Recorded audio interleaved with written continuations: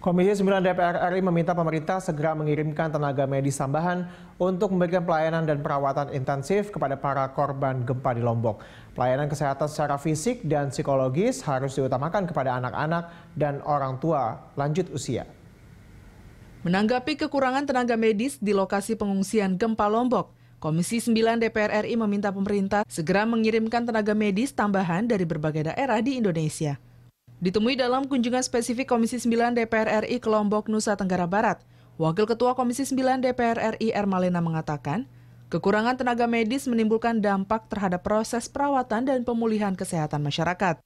Pemerintah harus melakukan penambahan tenaga medis dari wilayah terdekat.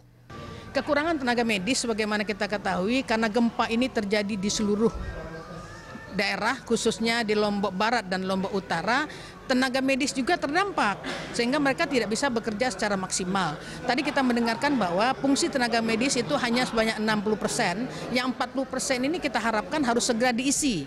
Siapa isinya? Itu adalah mereka-mereka yang dimobilisir dari tempat lain, khususnya yang terdekat, apakah itu dari Bali, dari Surabaya maupun dari Makassar.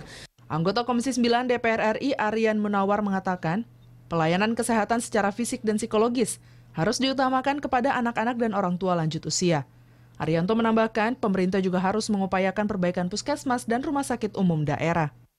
Pelayanan uh, kesehatan secara fisik. Di situ tenaga-tenaga kesehatan kita yang kita apa namanya itu kerahkan. Kemudian uh, juga penanganan dari aspek psikologi.